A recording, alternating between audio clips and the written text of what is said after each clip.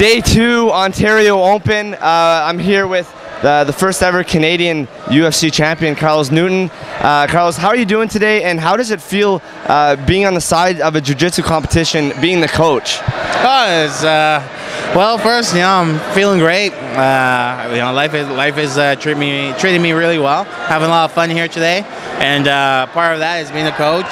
It's it's really nice. Uh, you know, helping the kids stay calm, get them ready for competition. You know, so it's really good to be able to draw on my own experience, and uh, you know, I really understand how they feel, and uh, you know, we make a good connection, and uh, you know, as long as they go out there and have fun, they're gonna learn something, and uh, we go back to the gym. You know, we practice what they learned, and uh, you know, they keep getting better. Um, from there, from that standpoint, you know, as long as they do that, they're gonna be the best they can be.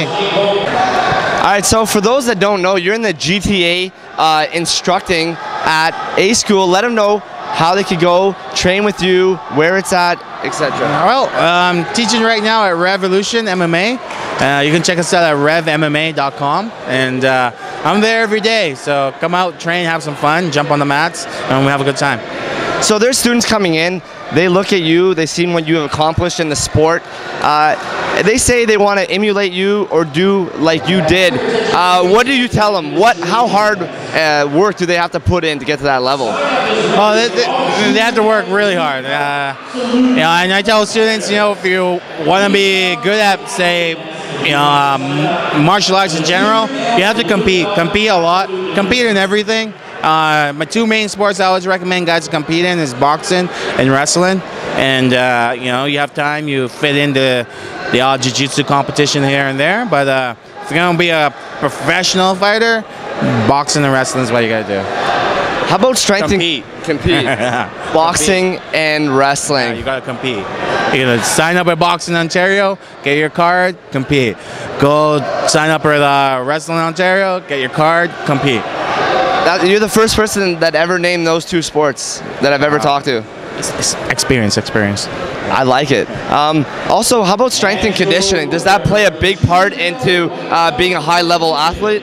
Yeah, uh, conditioning for striking, you know, that comes with the territory. As long as you compete and you intend to compete uh, you know, at your highest level, com- uh, you're capable of competing at, the conditioning comes with it. It's part of the territory. You can't do, uh, you can't compete without that. Also, I was just wondering, uh, let people know how important it is to, to get in these grassroots tournaments. And uh, if you ever want to, people say they want to win worlds, yet they don't even do uh, the tournaments. Yeah. So, how important is it to, to come out and support a tournament like Ontario Open? Hey, Ontario Open, you know, it's one of our bigger tournaments, but uh, so always start small, start small, start small. Take every uh, tournament, you know, and uh, go as a as a valuable learning experience. Uh, you know, don't try and just train for the big ones. Sometimes the small competitions are nice warm ups for the big competitions. That's how the most elite athletes do it, and uh, you know, that's the way anyone would have to do it. You know, you, you gotta like uh, take your time. You know, it's like going in the pool, swim for the day. You know, you gotta splash yourself with the water first because if you jump right in right away, you're gonna, you don't know how cold it is. You might freaking, uh, you know, your shit might just fly off.